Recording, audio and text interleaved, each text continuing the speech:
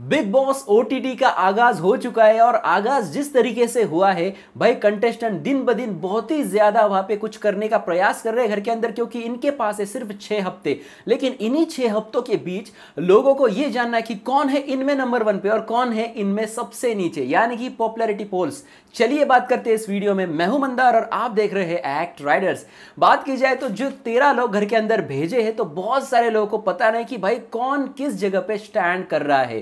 तो मैं नीचे से शुरुआत करूँगा सबसे नीचे से। यानी कि तेरह नंबर की अगर बात की जाए तो मूस जटाना। जी हाँ, मासूम सी एक छोटी सी क्यूट लड़की जो है अभी फ़िलहाल नंबर तेरह पे। अब इनका गेम अभी तक देखने को नहीं मिला है लेकिन जब देखने को मिलेगा अच्छा ही मिलेगा। ये ऑस्ट्रेलियन गर्ल है सबसे नीचे। नंबर बारह की अगर बात की जाए तो नंबर बारह पे है निशांत भट्ट। जी हाँ निशांत भट्ट थोड़े से सुलझे दिखते हैं वहाँ पे लेकिन इनका भी गेम इतना उभर के नहीं आ रहा है। और लोगों की अगर बात की जाए तो पॉपुलरिटी पोल में नंबर बारह पे आते हैं निशांत भट्ट। और आगे जाना पड़ेगा। नंबर 11 की अगर बात की जाए तो निशान के ऊपर है वहाँ पे नेहा भसीन। नेहा भसीन अपनी पॉपुलैरिटी की वजह से वहाँ पे है, जो गाने गाती है, बाजरे दा सिट्टा वगैरह, बहुत अच्छे अच्छे गाने इन्होंने गाए हैं। तो यहाँ पर नेहा भसीन को और ऊपर होना चाहिए, लेकिन फ़िलहाल पॉपुलैरिटी के मामले में ग्यारह नंबर पर आती है इन लोगों में नेहा भसीन।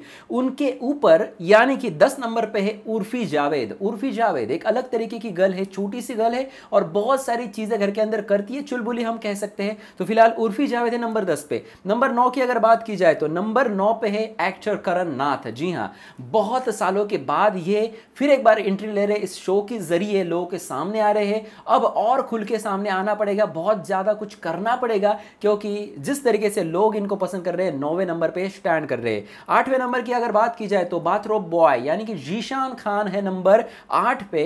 जीशान खान जिस तरीके से बहुत कुछ करने का प्रयास किया, करण जौहर के साथ, लेकिन उसके बाद, घर में आने के बाद कुछ ठंडा दिखे। जी हाँ इनको अब और ज़्यादा वहाँ पे गर्मी दिखानी पड़ेगी और उसी तरीके की एनर्जी रखनी पड़ेगी, क्योंकि पहली बार जो कैरेक्टर रखते हैं, वो बाद में नहीं रखा जाता है, ये मैंने रिव्यू में भी बताया था। नंबर सात की बात की जाए तो भोजपुरी तड़का, यानी कि अक्षरा सिंह है नंबर सात पे। भोजपुरी को अगर आगे जाना पड़ेगा तो खेसारी लाल यादव के फैंस हो या फिर बहुत सारी भोजपुरी इंडस्ट्री, इन्हीं को सपोर्ट कर रही है। आज के एपिसोड में थोड़ा सा रोते हुए दिखी, लेकिन फ़िलहाल इस पॉपुलैरिटी के मामले में ये है नंबर सात पे, लेकिन जल्द ही ये बहुत ऊपर जाएगी इस तरीके की कुछ वहाँ पे चीज़ें हो सकती है, क्योंकि इनकी पॉपुलैरिटी बहुत ज़्यादा है।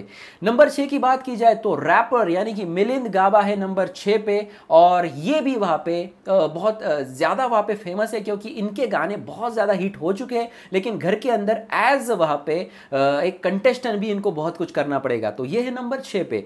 पहले टॉप फाइव में कौन आता है? नंबर पाँच की बात की जाए तो शमिता शेट्टी। जी हाँ शिल्पा शेट्टी की बहन शमिता शेट्टी ये यहाँ पे नंबर पाँच की। हालाँकि ये ऊपर होनी चाहिए, इनकी पॉपुलरिटी ज़्यादा होनी चाहिए, लेकिन घर के अंदर कुछ खास करते हुए नहीं दिख रही है और इसी वजह से नंबर पाँच की पोजीशन ली है शमिता शेट्टी ने। नंबर चार की बात की जाए तो भाई, जिनका असीम रियाज के साथ कंपेयर हो रहा है, लेकिन कंपेयर तो नहीं होना चाहिए तो यह है प्रतीक सेजपाल कुछ वहाँ पे अच्छे भी दिख रहे, कुछ वहाँ पे गलत भी दिख रहे। चलो, देखते भाई, इनका गेम तो मुझे पसंद आ रहा है। भाई, आपकी क्या राय है? कमेंट सेक्शन में आप ज़रूर लिख देना। तो ये नंबर चार पे, नंबर तीन पे वहाँ पे राकेश बापट जी। आज हर किसी ने हर जो गर्ल है, हर गर्ल ने इनको सिलेक्ट किया था। और ये थोड़े से सुलझे हुए कंटेस्टेंट यानी कि सीज़न ग्यारह हितेन तेजवानी बोल सकते हैं। तो ये है राकेश बापट, नंबर तीन पे इनको एक इमेज बनानी पड़ेगी। फ़िलहाल लोगों का सपोर्ट देखते हुए ये नंबर तीन पे और लड़कों में नंबर वन पे। और बात की जाए नंबर दो और नंबर एक की तो नंबर दो पे वहाँ पे रिधिमा पंडित, जी हाँ, जिनको करण नाथ ने सिलेक्ट किया था एज ए जोड़ी। रिधिमा पंडित अभी भी घर में कुछ दिख नहीं रही है, लेकिन रिधिमा पंडित की पॉपुलैरिटी बहुत ज़्यादा इसलिए नंबर दो पे स्टैंड करती है लड़की। और नंबर एक की बात की जाए तो दिव्या अग्रवाल, जिन्होंने एम टी ऑफ़ स्पेस जीता था, बहुत सारे रियलिटी शोज़ का इन्होंने एक्सपीरियंस लेके घर के अंदर प्रवेश किया है, लेकिन जिस तरीके से वो घर में जा रही है, ये कुछ गड़बड़ा सा लग रहा है, क्योंकि ये बोल रही कि मैं लीडर हूँ, मैं ये करूँगी, मैं वो करूँगी, लेकिन और सब मेरे पास आएँगे फुटेज लेने के लिए, लेकिन ये जो गर्ल है, ये जो दिव्या अग्रवाल है,